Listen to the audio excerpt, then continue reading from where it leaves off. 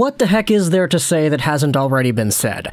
Now, as I talked about in the previous few videos, I was on a trip over the weekend, which is why all the videos that we uploaded on Sunday, Monday, and Tuesday were all pre-recorded, just random topics talking about different things. We hadn't really talked at length about the current games and the situation in the postseason and everything, so this is going to be me playing catch-up. I wanted to talk today about the Battle of Alberta from the perspective of a Vancouver Canucks fan, because boy oh boy, the me watching these games today is such a different me than the me that sat down in front of game one and saw that Calgary Flames 9 to 6 demolishing of the Oilers at the hands of Mike Smith and Mikko Koskinen. In fact, this series has been such a shift that for a portion of game two, the first few minutes in the period or whatever of game two, I was saying to myself, okay, yeah, Flames are going to sweep. It's going to be Calgary in four. They're going to play Colorado. Hopefully they win because my bracket said that they would beat Colorado. And then they'd go to the finals because, man, the Flames are just taking out the Oilers and they're extinguishing the flame that Edmonton had built for themselves after that game seven win over LA. But dude, I didn't expect the Oilers to wake up and do what they've been doing to this magnitude.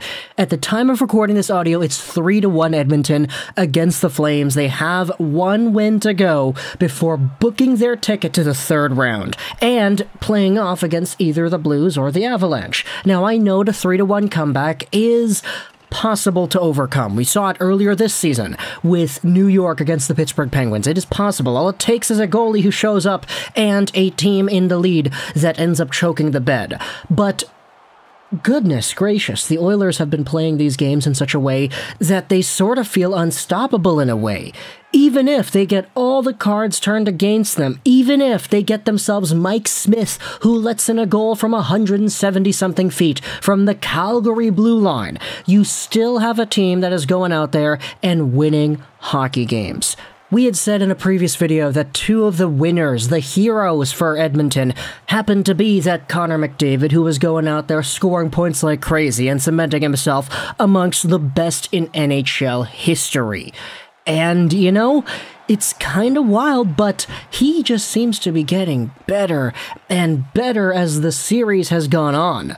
Connor McDavid had himself yet another multi point game last night in Game 4 against the Flames, and he is one behind Wayne Gretzky for the all time playoff multi-point game streak, something like that. Like it's so ridiculous.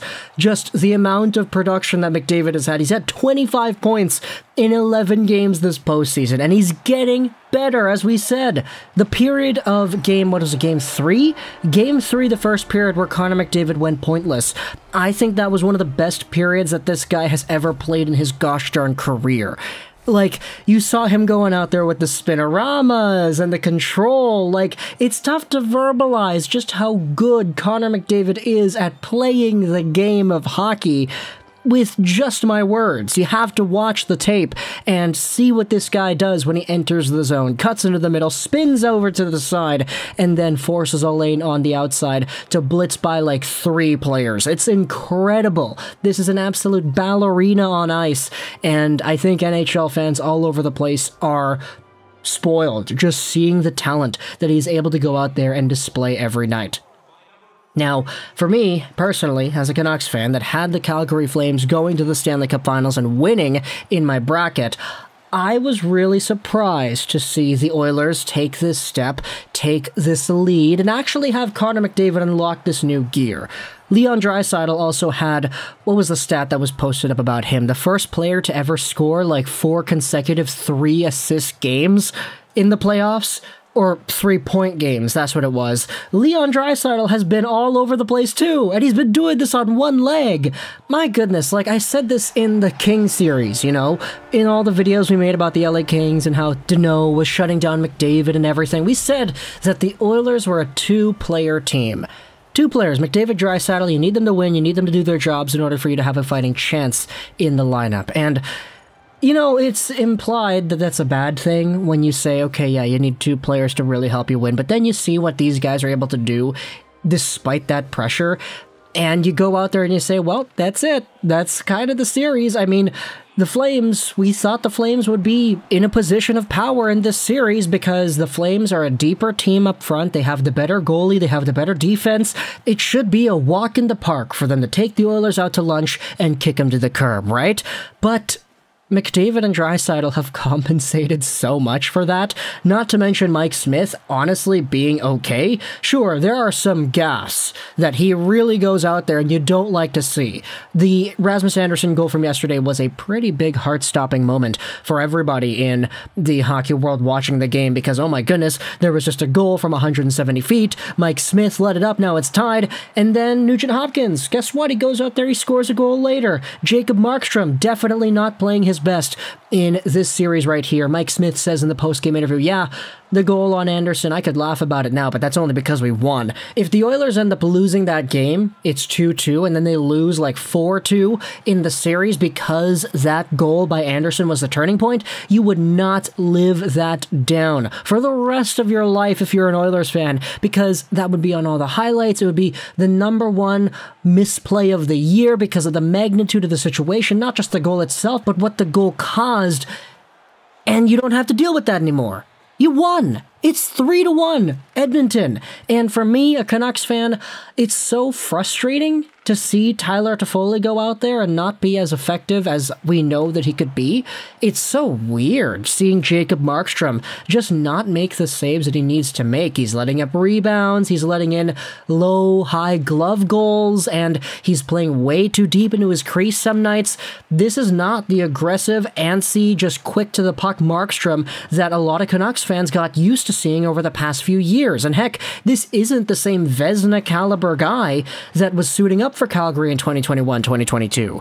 I don't know what happened, but Markstrom is a completely different animal. Now, I don't know the ins and outs about goaltending, but maybe there might be some sort of psychological thing or some instructions that he might have been receiving. Okay, you've got McDavid Draisaitl on the other side. These guys are really good at moving the puck around, so play deeper in your net so you're able to cut down those angles on cross crease passes a little bit more. Maybe that's the philosophy that Markstrom has been trying to employ in this series, but it definitely has not been working. The guy's been giving up a whole bunch of rebounds, too. There are a lot of loose pucks in front we saw the Nuge go out there and do his thing. What an absolute boss Ryan Nugent Hopkins is, by the way, also from Vancouver here, so there's some representation. He has been all over the map under head coach after head coach after head coach, and now he's finally in a position to be a playoff quote unquote hero 11 years after being taken first overall. Like, that guy has waited long enough for his moment, and he's finally getting it here.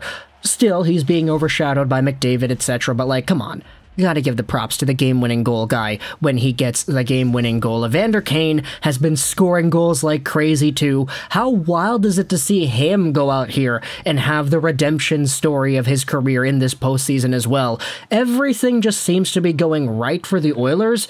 And as a Canucks fan, it's difficult to see the Flames just fizzle away in this sort of way. Even with Tanev back in the lineup, like, I didn't realize how big of an impact Chris Tanev was going to have in this series due to his absence. Like, I know Tanev is such an effective defenseman, but when you see what was going on in game one, okay, 9 6. Incredible game by the Flames to take advantage of Smith and Koskinen, who both certainly were not in their game. You had game two and game three, where it was the other way around. The Oilers took advantage of Tanev not being there, and now I mean, 3 to 1, the Flames have to win 3 straight here. This was the top team in the Pacific, and the team that a lot of people, myself included, had going to the gosh darn finals and winning the cup. So if Edmonton is ultimately the team that takes them out, Honestly, I'm saying this as a Canucks fan. I hope the Oilers go to the finals. Firstly, that McDavid MacKinnon matchup is going to be fantastic. And that's me assuming that Colorado is going to beat St. Louis. Okay, it's 3 to 1. It's going to be Colorado, right? But MacKinnon McDavid, with Makar and Nurse and Draisaitl all there too. It's going to be great. And ultimately, I think the Colorado Avalanche, man, they lose all the time when it really matters. They make so much progress only to lose at the end. It's been kind of a trend for this team so far.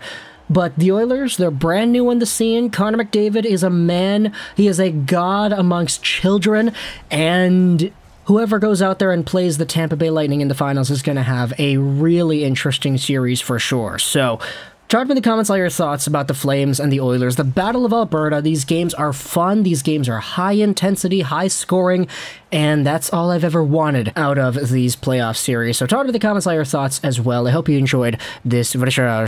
99 and bye.